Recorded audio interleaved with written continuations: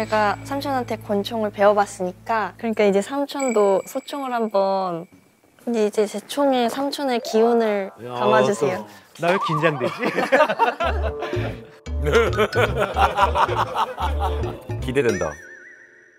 와 정말 몇 점 나올까? 아니 몇 점보다도 이 그림이 어? 소청 선수의 자세는 아니더라도 되게 자연스럽다. 그지 않아?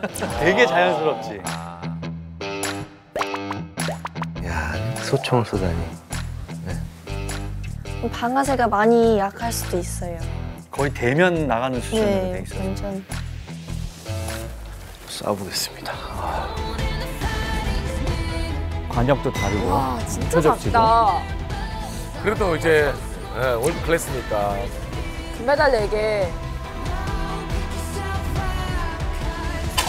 오 진짜 약하다. 오 진짜 약하다.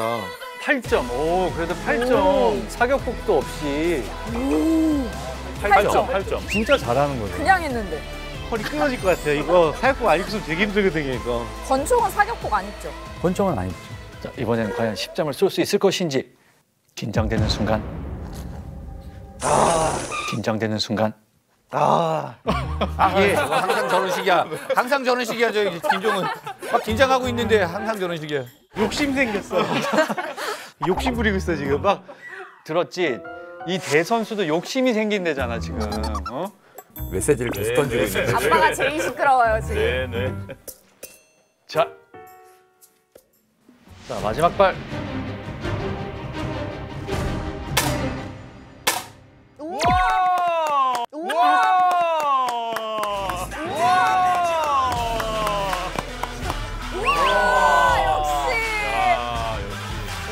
아니 이게 사격복을 안 입고 한다는 게 되게 어려운 거야. 그래요. 네.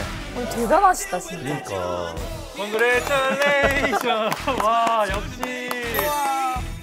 한참 후배잖아요. 후배가 또 보고 있는데 이 소총을 못 쏘면 또 어떡하나 걱정도 많이 했는데 또 마지막에 10점으로 마무리하니까 천만 다행이었던 것 같은데 오랜만에 정말 긴장 많이 하는 사격이었습니다. 전 세계에서 총 제일 잘 쏘는 사람 아니야? 진짜. 둘다잘 쏘는. 전 세계에서. 네. 전 세계에서. 아 근데 소총 쏴보니까 확실히 어떠세요? 완전 달라요. 진짜 소총은 더 정밀해야 되고 그 방아쇠가 엄청 민감하다 보니까 첫 발은 아차 싶었는데 나가더라고. 야. 민아는 권총 쏴보니까 어땠어? 일단 두 개가 다른 종목이잖아요.